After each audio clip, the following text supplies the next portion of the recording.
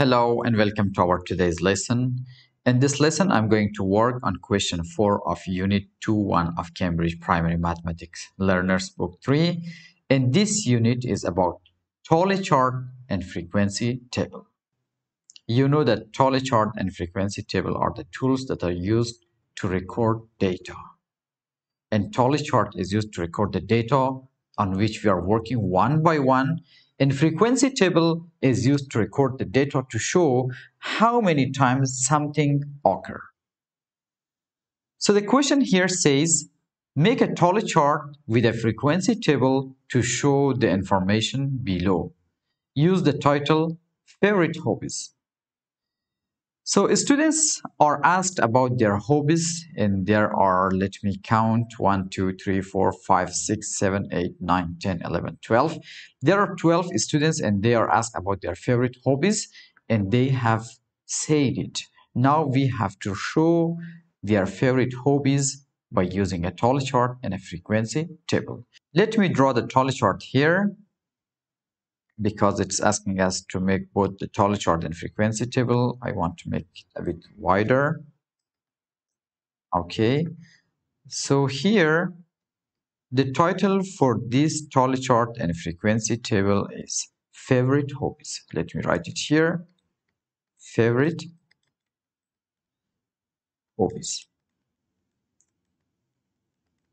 Favorite hobbies. So here I will write hobby because we have to specify what are the different hobbies and then we have to write tally and then frequency. Now here I will show why tally chart is important. You know that tally chart is using marks to record the data and it is recording one by one. So let's start with the first one, which is said by the first student over here. It's painting. The first hobby is painting. So one of the students here has said his favorite hobby is painting and the other one is dancing. Let me make it a bit smaller so that we can put all of them here. Dancing.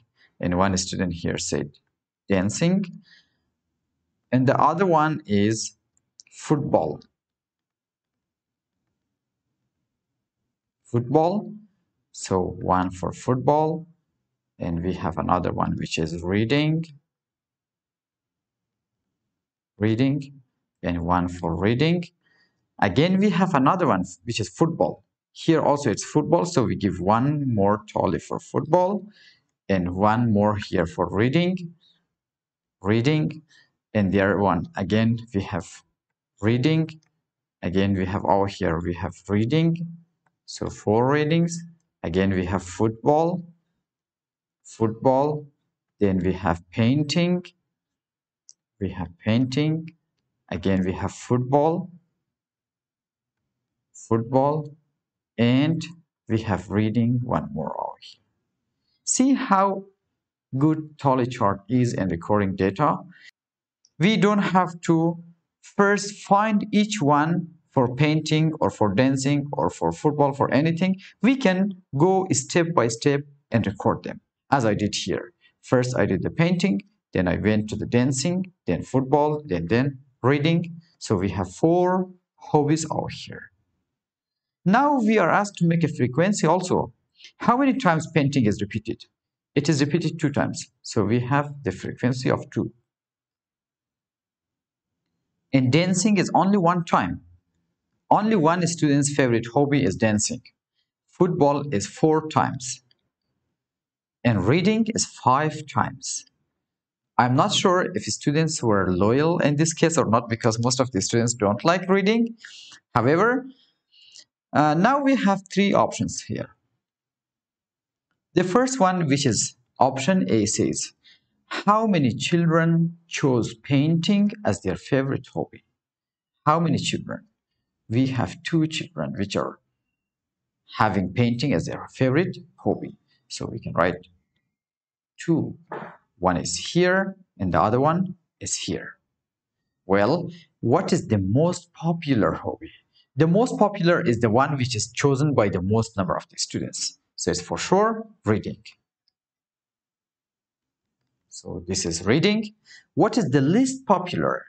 The least popular hobby over here is the one which is chosen by the least number of students, and that is dancing, which most probably it is the opposite. Most of the students like dancing but not reading.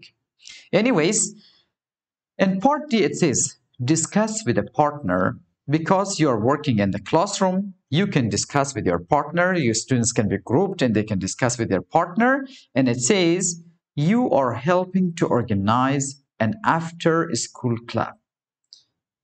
How could the information from the tally chart and the frequency table help you?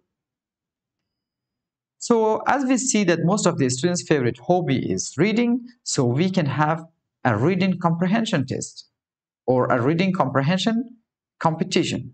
So in this case, uh, the tally chart shows that most of the students over here are interested in mm-hmm. reading. So if we make a reading competition, so it finds out who is the best reader out there.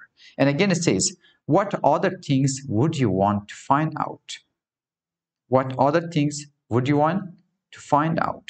So except for football, painting, reading, we may have something else also. We may have cooking. Whose favorite hobby is cooking? Whose favorite hobby is playing game? So there are many options that we can include over here. I hope it helps you how to work out this, I can say this experiment in which you have to make a tally chart and a frequency table. Please make sure to subscribe to my channel so that you should not miss the coming videos and like the videos and share the videos with your friends, your classmates, and your students as well if you're a teacher. Have a nice time and thank you so much.